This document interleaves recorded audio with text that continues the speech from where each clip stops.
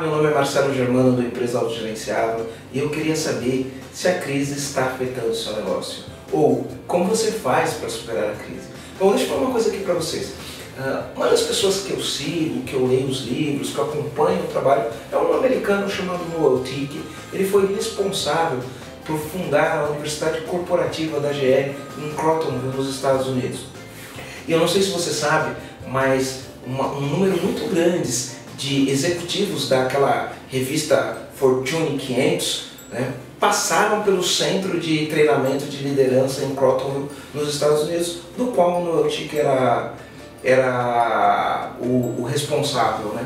E aí ele fala uma coisa muito interessante, ele fala que todo empresário tem que se preocupar com três coisas, pessoas, estratégias e crises. E por que, que ele fala isso? Porque ele fala que independente do tipo de empresa, independente do país que ela está, toda empresa vai ter momentos que vai crescer e vai ter momentos que vai enfrentar crise. E no momento que eu estou gravando esse vídeo, é, a gente está em dezembro de 2015, o Brasil está passando por um momento de crise e talvez você fale, meu Deus, o que, eu faço para lidar com, as crises, com, com a crise? E eu vou dar algumas dicas para vocês sobre como você pode fazer isso. A primeira coisa, e a mais importante, é o seguinte, você precisa focar nas coisas que você tem controle. Por exemplo, a gente não tem controle do que vai acontecer com a economia do país, a gente não tem controle se vai ter recessão, se não vai ter recessão, se a presidente fica, se a presidente sai, a gente não tem controle sobre nada, em nada do que acontece nesse sentido. Então, muitas vezes as pessoas gastam muita energia, ficam lendo uh, jornal para ver se vai ter crise, se a presidente fica, se a presidente sai, se o presidente do Congresso fica, se o presidente do Congresso sai. E ficar gastando a tua energia preocupado com esse tipo de coisa, na verdade não resolve o teu problema. E o grande segredo é o que você pode controlar. Tá? E quando você volta a tua atenção o que você pode controlar, você consegue fazer diferença. Consegue fazer diferença no teu negócio, consegue fazer diferença numa série de coisas. Então tem um monte de coisa na sua empresa que você pode controlar. Por exemplo, você pode controlar custos, você pode é, fazer um esforço maior de vendas, você pode controlar o, o, preço das coisas que você vende, você pode controlar a tua interação com os funcionários, você pode controlar, você pode blindar a tua confiança. Tá? Você pode, é muito importante você blindar a tua confiança no momento da crise. E quando você atua onde você tem controle, é muito mais fácil você sair da crise.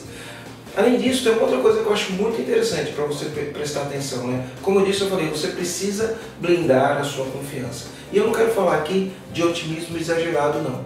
Mas é, quando a gente fala assim, olha, vai dar certo ou vai dar errado, né? a gente vai conseguir passar dessa ou a gente não vai conseguir passar dessa, na verdade tudo isso é uma ilusão. Por quê? Porque a gente não tem como saber.